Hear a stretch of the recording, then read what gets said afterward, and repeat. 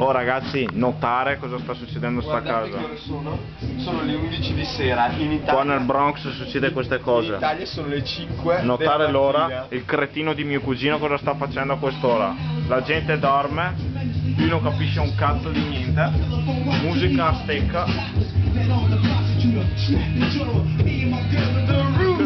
Non capisce un cazzo, sua mamma è giù che dorme e lui non capisce una fava.